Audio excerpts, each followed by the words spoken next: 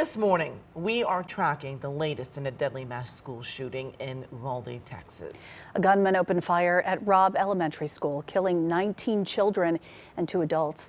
CBS 2's Kara Finnstrom joins us live with the latest on this investigation. A heartbreaking story, Kara. It really is. And authorities in Texas now starting to share more information about the gunman's movements and the police response. They say everyone killed appears to have been in the same classroom where that gunman ultimately barricaded himself.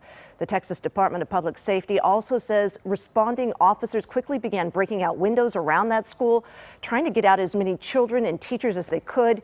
Some of them were hurt. They heard the gunfire. Uh, they were met with gunfire as they encountered this gunman who was able to shoot two police officers. Uh, Non-life-threatening injuries. They, they are stable. They are out of the hospital, but at that point, they were at a disadvantage because the gunman was able to make entry into a classroom, barricaded himself inside that classroom, and then that's when just he just started shooting children and the teachers that we talked about, two teachers that were killed inside that classroom. This morning, investigators are looking for answers at Robb Elementary as some families continue waiting for information about their loved ones. Yesterday evening, authorities began taking the bodies of the victims away, and some parents were asked to do the unimaginable to give DNA samples and as, as investigators try to identify those many victims.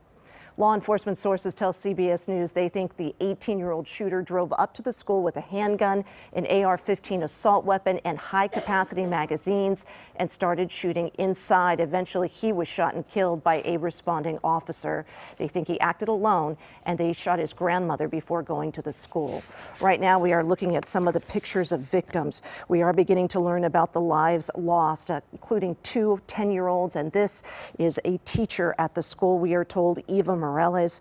We spoke with her family about the loss. They say they are now donating blood for other shooting victims. Her niece had been an educator for at least 17 years. Uh, the aunt told us about her. So such a sad situation there today. We are continuing to learn more. We do know again uh, that we are expected to learn more later today about uh, this investigation uh, and all of the victims as they are continuing working to identify them.